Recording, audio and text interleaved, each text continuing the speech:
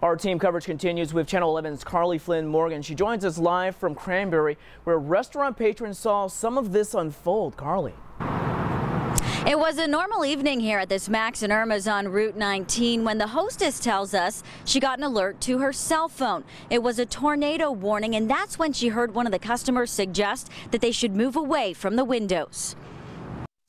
I'm like, I get the alert and I'm thinking, where the crap are we supposed to go? Channel 11 viewers across Cranberry sending us videos like that after seeing this. Tornado. Yeah, I think so. A dark funnel shaped cloud. We saw some swirling clouds. It's getting really dark. Two or three times we saw the funnel cloud touch down. The National Weather Service now confirms what rolled through this area was a tornado. Powerful winds knocked over tree after tree on Rowan Road, including one into this home. This home was a tree fell on the roof.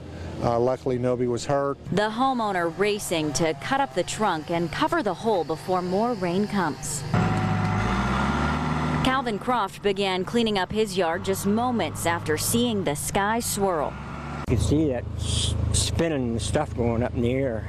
The wind not only toppled trees but also ripped down wires and tore off shingles. What are you going to do? It's Mother Nature.